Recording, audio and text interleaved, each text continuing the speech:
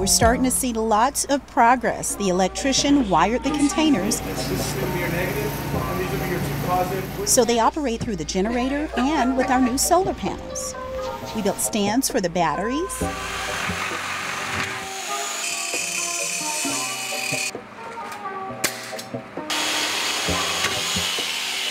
Whoa! It was some power.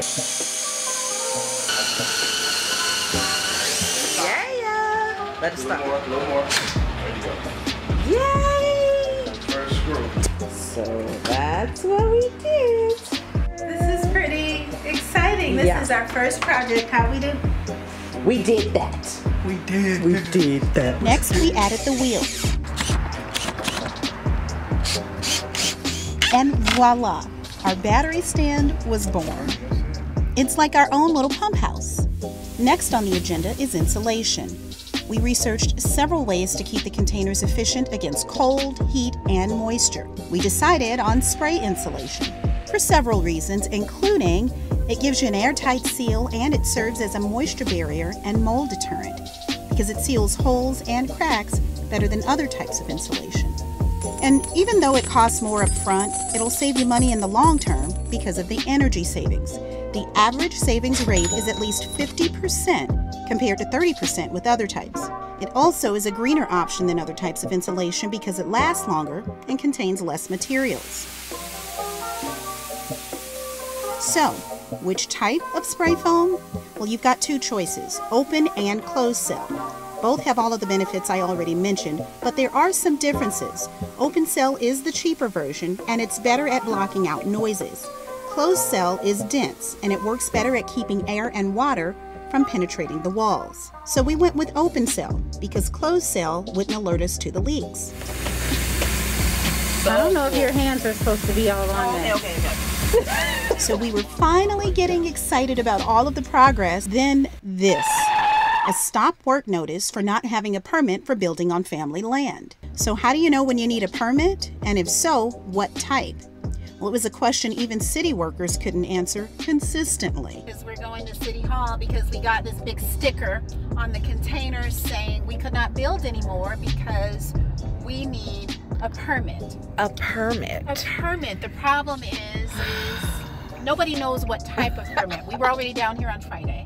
We took a drive to downtown Phoenix to find out how we could comply with their rules.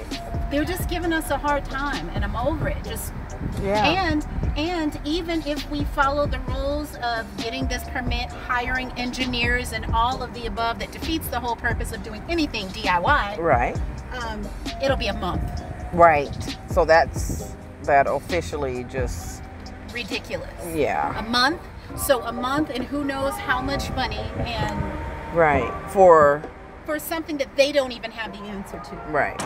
So to be clear, just just for clarification purposes, before we started this project, we did speak with the with the inspector with this with the city, and because of the, the the difference of our project, we we were building on private land.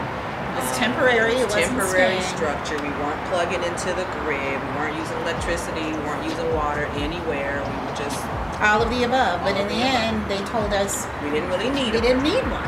But once we got the notice saying you need a permit, we were totally fine with getting one. You know, we The want to support the, the, uh, hold on. we want to support the community. We do, we do. But the problem was is that they couldn't tell us what kind of permit we needed.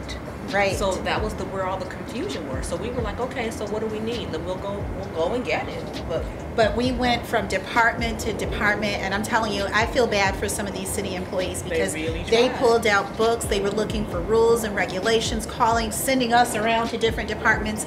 But in the end, nobody could tell us what type of permit we so, needed. So so basically, what they said was, you know, here's the easy thing for you guys to do. Why don't you just move, and then all of it goes away. They say in 60 days, everything will go away if you just leave, which that's that's supportive. That's very supportive. Yeah. Like, um, Makes us wanna- just leave.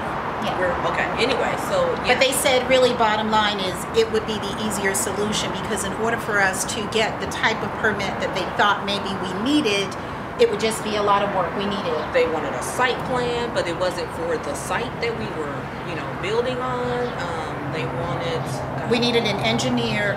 Oh, this is the thing. We needed an engineered plan to see how the containers would be anchored down. Right, because the wind is so strong here in Phoenix, right? So That it's gonna blow it they away. thought it would blow it over. So They went as far as not just for our containers, but we rented storage containers from Haulaway, little 20 foot containers that you, you know, pods, all of those places you rent.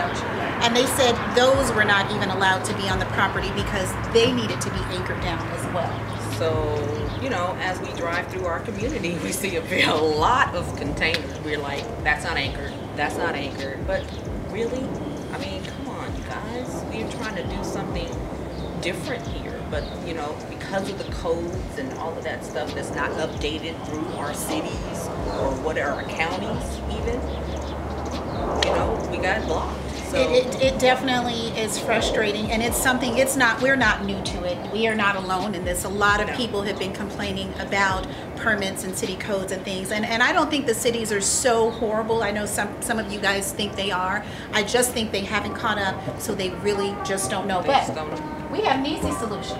What? Road trip! Our friend Pete with ProTech Painting got the containers ready for their new home. And they're looking road ready to me. it's moving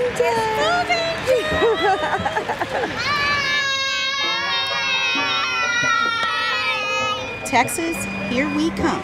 Let the next phase begin.